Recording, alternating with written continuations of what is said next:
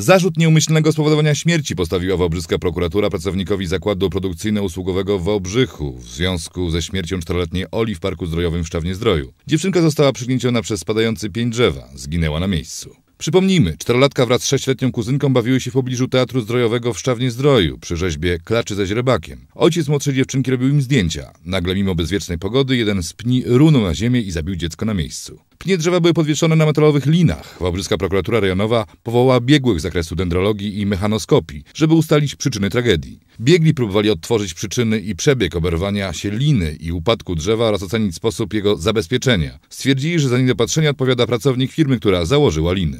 Postawiono zarzut y, pracownikowi zakładu produkcyjno-usługowego z Wałbrzycha, który wykonywał y, zlecenie Urzędu Miejskiego w Szczawnie-Zdrój w zakresie zabezpieczenia drzewa w Parku Zdrojowym w Szczawnie-Zdrój.